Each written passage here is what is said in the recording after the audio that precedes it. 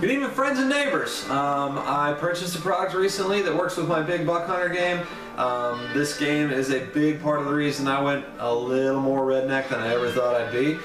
Um, but it's a fantastic game. Um, Bat claims it's America's favorite hunting game. I'm inclined to believe it, what with the arcade versions having you know, being linked up to the internet and having worldwide tournaments for cash prizes. Um, it's it's a facet of arcade gaming and like bringing it together with online gaming in a way that hasn't really been done before, as far as I know. But I definitely support it because it's still social gaming and it brings people together to play games and have fun. But Big Buck Hunter is one of the few perfect games I've ever played in my life. I've played a ton of video games, um, and there's nothing I don't like about this one. It's really hard to find anything to, to pick about. I mean, some of the animations are a little wonky, but you know, it kind of adds to the appeal. It's kind of funny. Um, but I love this game, and you should buy it. Um, the reason for this video is about the peripherals.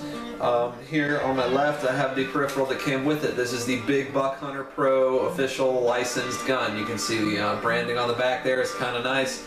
Um, this is in green and orange so it's kind of a combination of the two controls uh, that you see in the arcades, the green gun and the orange gun.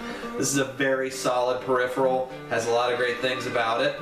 Um, it comes bundled with the game. Some come bundled with two, but they're getting really hard to find these days. So snap them up if you can. Um, you load in the Wii Remote through here, and the nunchuck goes in through the back. There's a little clip that holds the nunchuck down. It's kind of nice. Um, I do like this more than um, on the other gun here, which I'm going to show you in a second.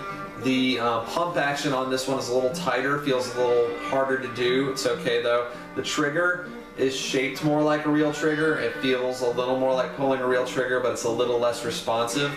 And finally, this is a little um, inconvenient because once you assemble it, it does not disassemble. The stock was put on back here, and the front would twist, but it's not wanting to do that at all anymore.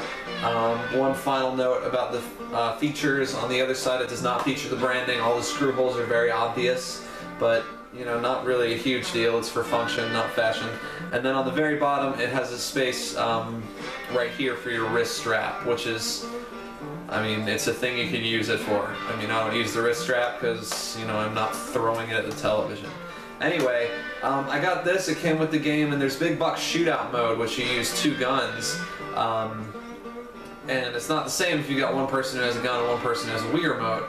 So I'm been hoping for another gun, but unfortunately there's not a lot with the pump action like this. Um, so I was at uh, GameStop the other night, and I ran across one of the Cabela's uh, Top Shot blasters. This one does not have the Top Shot branding, but I believe it's the same controller. Um, this one has a few cool things about it. It's a little easier to store because it has this expandable stock here on the back. And one thing I like about it is this is the trigger here. You hold it down and you can push it forward and you can just pull it back, but you can't push it forward without pushing down the trigger. And of course you can push down the trigger and pull it both ways. But um, that's kind of nice. The trigger here is just the exposed Z button of the nunchuck, so it's kind of like a hair trigger. It's a lot easier to pull. The magazine here is for show and it's for function the um, the cord goes up in here and you can just kind of store it up in there with the magazine. This scope is dumb as hell and I don't understand why they even put it on there. I guess it's kind of a remnant of maybe when they made this for other consoles uh, because they do make one of these for PS3 and Xbox 360. But I just take it off, which it's cool that you can. Um, you know, if you're into that, you can leave it on there, but if not, you can take it off. It's red through the scope for some reason. It's kind of cool, I guess. You know, fun to play with, but it's completely inaccurate because of the way the Wii works as a light gun. It doesn't work as well as it should, and even with either of these controllers, you are going to be holding them at an awkward angle, so it does take some getting used to. Um, it has the Cabela's branding right here, which I don't care for, but I know a lot of people do. Um, and one of the nicest things is on the inside where your Wii remote is held, these black parts here are hard rubber instead of plastic like in the official controller. There's no extra padding in the official controller.